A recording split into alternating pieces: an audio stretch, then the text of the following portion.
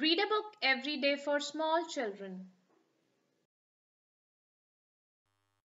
Hi, awesome readers. Let's read this book, Planet Earth, from the series Hello World by Jill McDonald.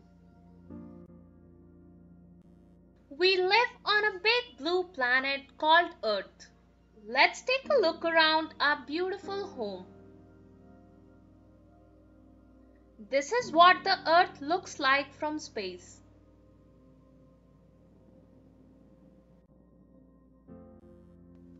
Earth is a part of the solar system. It moves around the sun and the sun gives it warmth and light. Earth has a moon and the moon moves around Earth. When you look up at the sky at night, you see the moon. Light from the sun makes the moon shine. The North Pole is at the very top of our planet and the South Pole is at the bottom. These places do not get warmth from the sun, so they are very cold. In the winter, at the north and south poles, there is no sun and it is always dark. In the summer, it is always light. Earth has large areas of land called continents. Which continent do you live on? There are seven continents on Earth. North America, South America, Africa, Europe, Asia, Australia, Antarctica.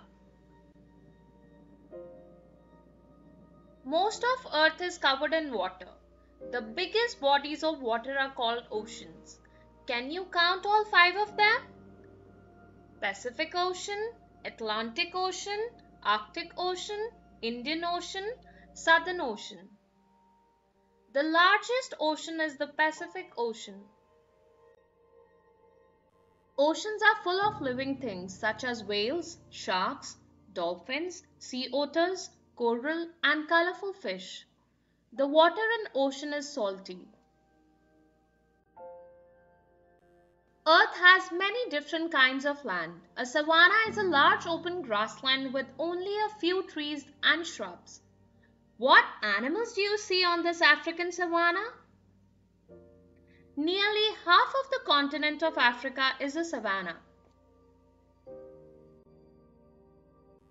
Some areas on our planet have mountains. Mountains are very tall. Can you name the animals that live here? Mountains are often cold and windy at the top. This makes it harder for plants and trees to grow. A desert is a dry place where it hardly ever rains or snows. What animals do you see living in this hot land? There are very few plants in the desert because it is so dry. A forest is a large area of land covered with trees. Point to all the forest animals you know. Trees produce a gas called oxygen, which helps keep our air clean. Tropical rainforests are a very important kind of forest.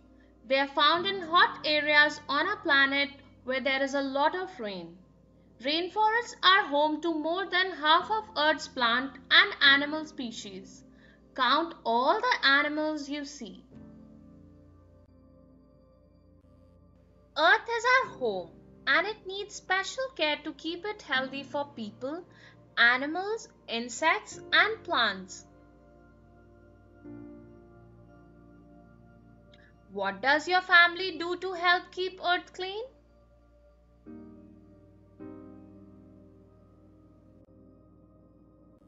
Earth is a big, beautiful planet for you to love and discover.